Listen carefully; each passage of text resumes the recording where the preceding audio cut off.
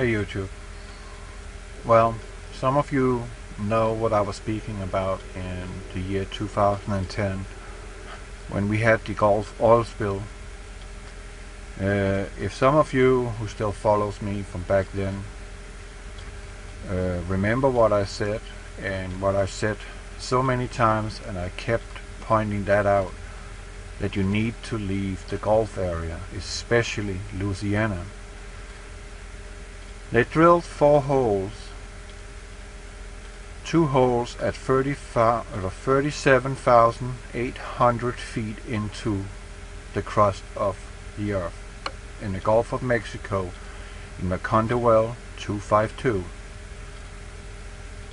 And they also drilled two other holes, which were the primary holes, down to a depth of 47,000 feet.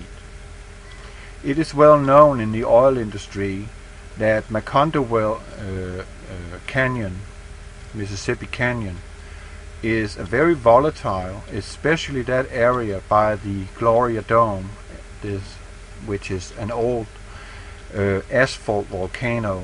No, that's Biloxi Dome, that is the old asphalt volcano. They drilled right next to it. Actually, I'm pretty sure they drilled into it and they also drilled very close to Gloria Dome which is a very very large and I mean gigantic salt dome sticking down in the same depths as they were drilling and is over 50 miles in diameter and is protruding through the Gulf seafloor. You can go look at Google Earth and find Gloria Dome. You can go on Google Earth and find Biloxi Dome and see the size of these two uh, natural formations. And I'm not going to harp or brag or anything, but I told you people. I told you in 2010 what the consequences of what they were doing with the so-called United States Navy, or should we just call it the military industrial complex, they were in charge of these four holes drilled into the most volatile section of the oil region in Mississippi Canyon. I was on radio show many times with AC Griffith on the Intel Hub and he know about this stuff and he concurred with me Matt Simmons, who died mysteriously in his bathtub, being at good health of a heart attack, was screaming his lungs out about what they have done and what they could not do, and that is to contain that pressure which is coming up from there, because we're talking over 120,000 psi, and there is no man-made valve that can hold that. So the BOP or the blowout preventer as BP claimed they put down there and they sealed it off. That's a lie. There is no man-made structure that can do that. And then I went on analyzing the crust. You can find all the info in my video called Gulf Oil Spill Anno 2010-2013 Revisited the technical details. The links are below. There's two videos. You can go watch them. Watch and learn. But I told you this would happen. This is a recent picture outside New Orleans. Louisiana coastline is disappearing at a rate of a football field an hour right now. The wetlands that protect southern Louisiana, including New Orleans, from flooding are disappearing. Dramatic erosion sinking land along the southeastern coast of Louisiana could lead to the largest forced migration for environmental reasons in history of the country, a new report says. I told you that in 2010. Get the heck out of there. I mean get out of there before it all plunges in, okay? It is it began with the Louisiana sinkhole and I, I told you back then, the water from the ocean will come in through those holes they have drilled. and up through and into the salt layers that is lying in underneath Louisiana, Alabama, Florida, and parts of Texas. You can see that in the video. I'm describing it very meticulously. According to a report called Losing Ground Changes in Mississippi Delta they were designed to increase flood protection and enhance oil and gas production has led to an unprecedented loss of land. Bob Marshall, a reporter with the New Orleans news site The Lens, has covered coastal land loss in Louisiana for decades. He collaborated with ProPublica to publish the new report. ProPublica used official U.S. Geological Survey topographical maps, aerial ph photographs and satellite photographs going back to before 1930s and combined them to create a powerful visual representation of just how much land has been lost in the last 80 years. Marshall says that people who have been reading his stories for decades tell him that uh, this is the best thing you ever done. The words are pretty much the same, he says, but these graphics really hit home as you watch these pristine wetlands in the 1930s turn into uh, turn in some areas to open water. You watch as these canals come uh, in and the place just open up and falls apart. Since the mid-1930s, the total amount of loss of land is about 2,000 square miles.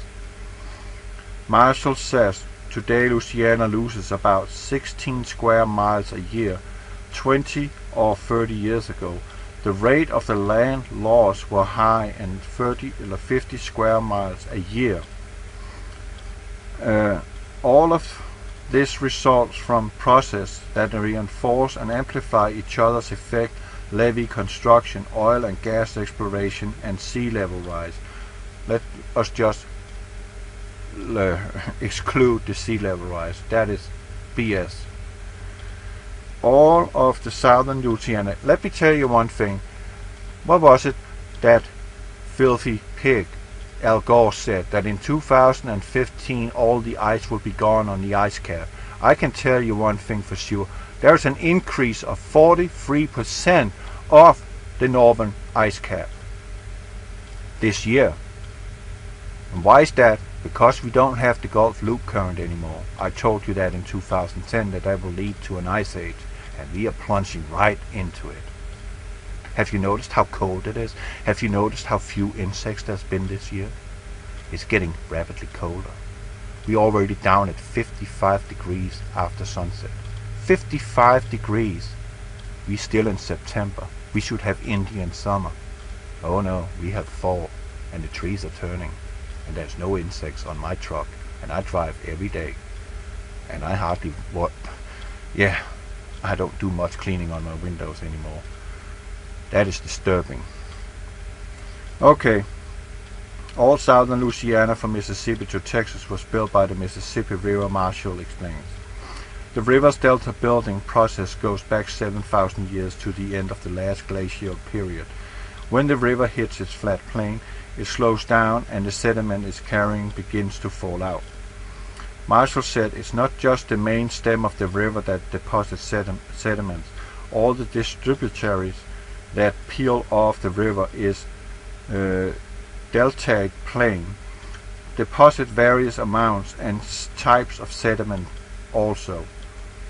During the spring floods, the river and all its distributaries would overflow their banks and spread the sediment nature's cement.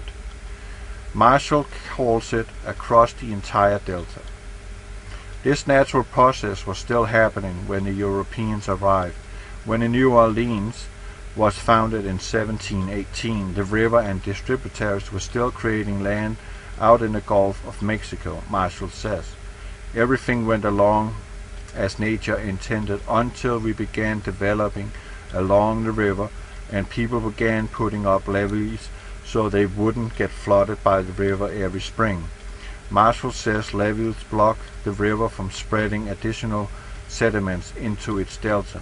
When a river can't replenish its delta, that delta begins to subside. Well, we can say that is uh, true. I would not dispute that. But if that has been going on for the last, yeah, what was it he said, 7,000 years, these sedimentations is very hard compressed. Like cement. They're very hard. Okay. So, there is a link to this article. I'm not going to read all of it. What I would like you to do is, of course, read this article and remember what you're looking at right now. We're talking a football field an hour disappearing. I told you in 2010 I made, I think, 270 videos. I reported every single day my reportings, what I was finding, disturbing findings. I don't have those videos anymore. It doesn't really matter.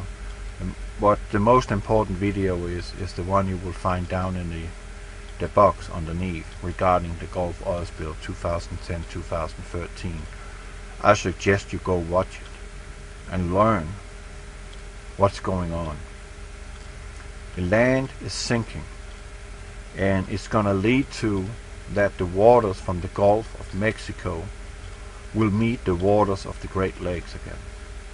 It will split the United States in two sections, with the widest point of up to 200 miles distance. The land is being destroyed, and it's been done by man. It's been done in 2010, creating the precedents for the collapse of United States of America. We know we are already in a collapse financially, socially, politically. Pretty much the land has fallen from grace because people has left their spiritual values more or less completely. And God hath taken his hand off this nation. There is no protection for you or anyone living in what we call United States of America only those who hold dear to the Lord. That's just how it goes. Unfortunately, people has left their spiritual values. But what they did in 2010 out in the Gulf of Mexico in Macondo Well 252, let us also remember BP oil disaster who had some startling uh, images and videos and reportings too on this subject. Absolutely. You can go find Arabella Free on YouTube here. Her channel is still there, but she's no longer active on YouTube. She also has some pretty startling images and she have a video where the Gulf floor where they did the Gulf oil spill literally blew up. I don't know if they blew it up with a bomb or it simply just did it by itself because of the pressure. There's still fissures out in the Gulf floor. Large fissures. And worst of all, there is 30 million pounds of unexploded naval munitions in that zone spread all over in Mississippi Canyon. All it takes is a detonation. And I think they already rigged it because those weird uh, apparatuses they put down on the seafloor was not pressure hoses. They are wires, and I think they have put them out to the most devastating bombs that they have dropped over the years since World War II. Right there, where the Gulf oil spill took place. There might even be a nuke down there. There might be, I don't know, but 30 million pounds of unexploded munitions And funny enough, the day after I posted that video and showed you the evidence of that, YouTube decided to take that video off. It was a violation of community guidelines that that truth came out. But you remember who has followed me, that I reported on that. Watch and see it unfolds. And pray to the Lord that you will be in safety before it happens. God bless you.